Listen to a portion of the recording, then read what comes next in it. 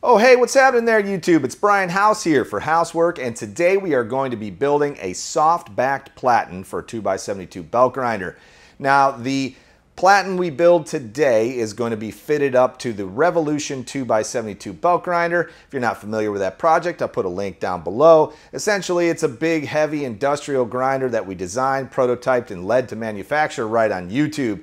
You all have supported my work by building the device and buying my plans and I wanted to say thank you to you. And every piece of content that I push out to you all is a result of the hard work we have done together. So thank you so much. If you'd like to find out more about that project or you want to purchase pieces, parts, and plans, you can go to my website, housemade.us, and we can make that happen for you. Now this build, uh, it's very stupid simple, okay? About 15% of this video is gonna be build and the other percentage, whatever that math is, I'm gonna show you why I think it's such an important component to, uh, or an attachment to have on your belt grinder. And if you do it the right way, uh, you don't need hardly anything to make this happen. You probably have most of this stuff in your workshop. So anyway, guys, let's take a look at what we need to make this happen and let's get started with the build. All right, so you're gonna need some spray adhesive. Uh, you need something to back up the entire apparatus. This is actually what's going to mount to your platen backer. Uh, all right, and in this case, I'm using just mild steel. This is about an eighth inch thick. Um, in the past, I've used aluminum. Uh, the reason why you need some sort of piece of steel for this uh, is because I like to uh, drill and tap into this.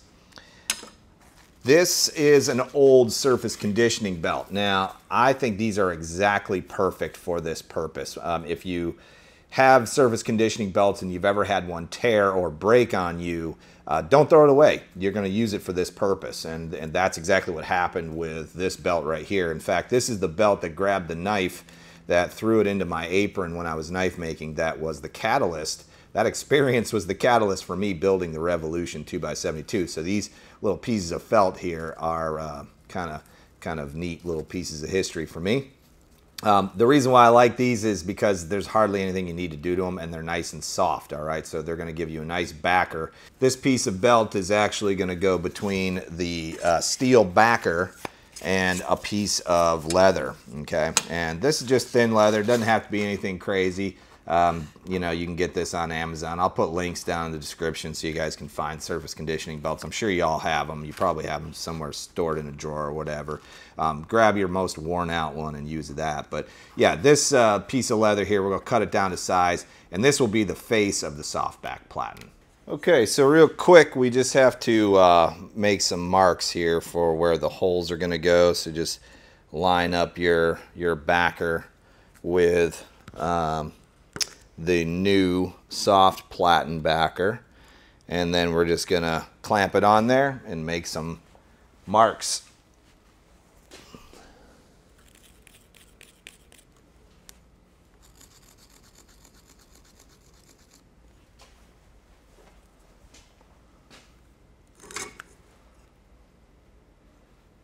Okay, let's drill and tap some holes.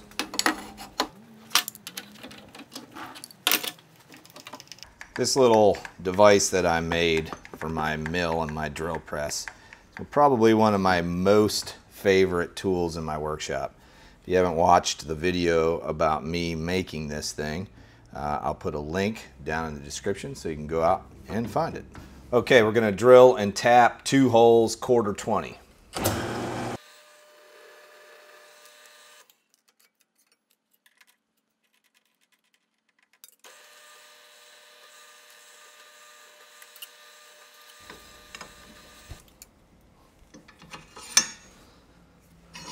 Got a couple new tools to show off. Uh, this is a YG tap. Uh, get these on Amazon. Uh, this was a, a, referral from uh, Richard Beck over at Beck's Armory. I'll put a link to his channel down below. He makes grinders, he makes uh, forges and forge burners and does some uh, cool stuff on his channel. But he turned me on to these through the DIY belt grinders and machines group on Facebook and I love these. And because they're so, um, this piece of material here is so thin, uh, we can just use a drill to um, actually do the tapping. So.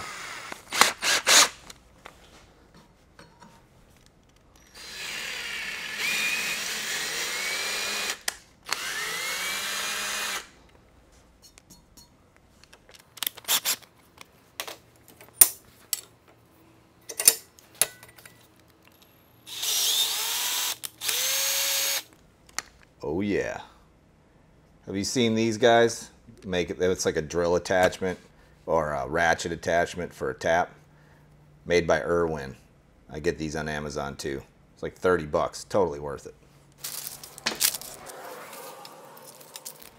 All right, spray adhesive is a messy enterprise, so I like to lay down some parchment paper, and this is super stupid simple. Shake the can, yeah, and spray. Now, once you spray, you're gonna wanna let it get tacky before we assemble everything.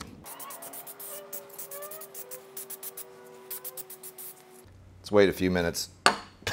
okay, so everything is nice and tacky. Uh, the first step I'm going to do is just, let's see, wait, we got to think about this, right? So this piece here is going to be on the face of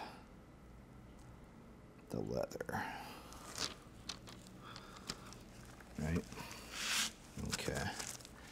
Those two pieces are bound together now pretty simple, pretty straightforward. And now I need to add some more spray adhesive to this so I can attach it to the steel.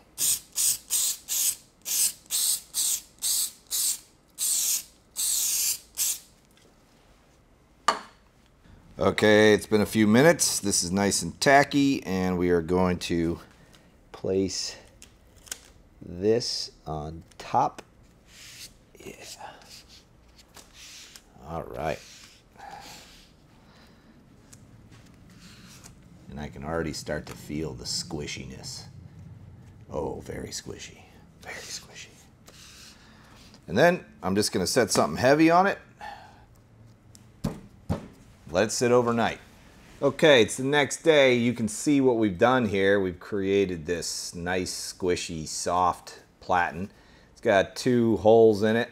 Uh, in my case, they're a quarter 20, ready to thread into our platen backer right on our Revolution 2x72. Let's give it a shot. Okay, I'm going to use some uh, quarter 20 half inch bolts with a lock washer on it. Line everything all up and we're just going to finger tighten this for now. Let's lock it into place.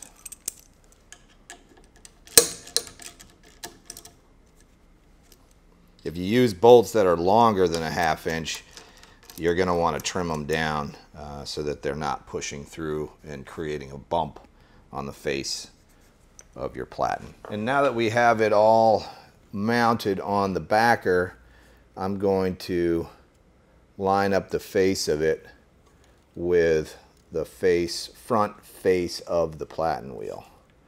Just like to use a straight edge or square or something for this.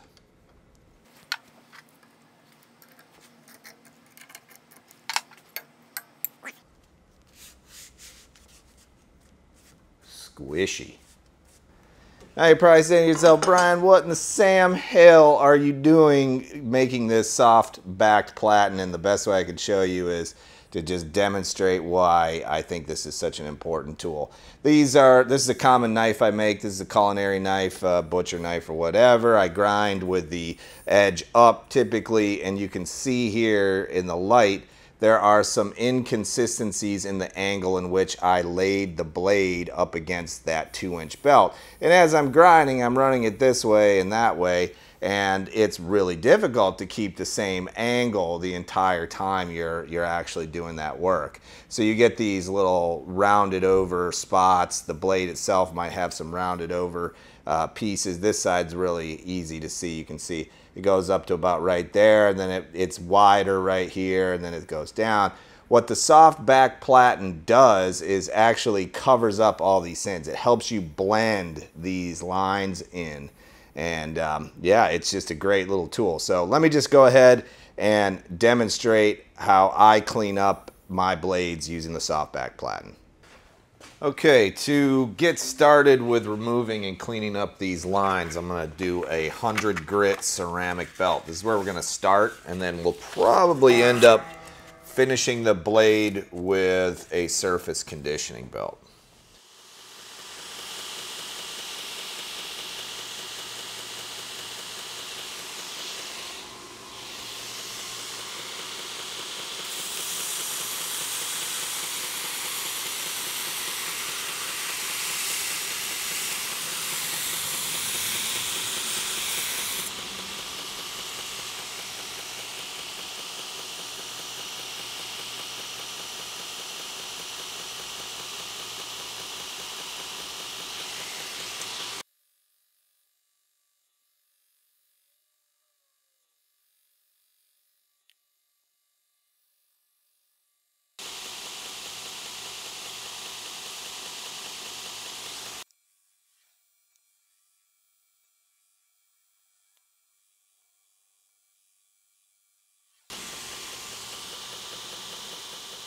What you saw happen there was about three minutes worth of finish sanding on a 100 grit ceramic belt. Uh, both sides uh, I finished. That's a nice flat grind right there. Just sprayed it down with a little Windex to kind of clean it up from the water. Uh, because I grind post heat treat, uh, you really want to pay attention to how warm your blade gets as you're working it. Uh, but what I love about this system is if you were to say, instead of having a soft back platen, you had the high carbon face or even just mild steel, any twisting motion this way or this way is going to create divots in your blades and it's going to be very obvious. Um, with this system, it just simply does not. It's very forgiving, it's very soft. Um, you could even do convex grinds if you want with it. Um, but yeah, let's uh, take this up another notch. I'm thinking maybe we go to, uh, say, a 200 grit belt, and then we'll do a finish with a surface conditioning belt and some WD-40.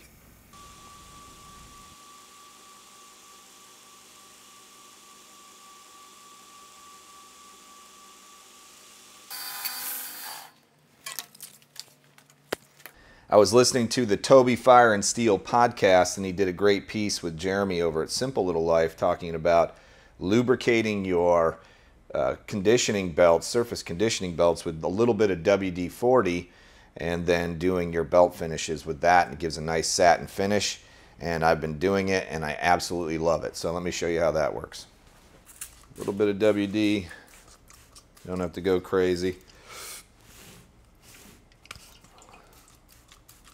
A little bit goes a long way. And then we're going to go and uh, kind of slow in forward. And then we're going to put a satin finish on this belt or satin finish on this blade using WD-40 and a surface conditioning belt.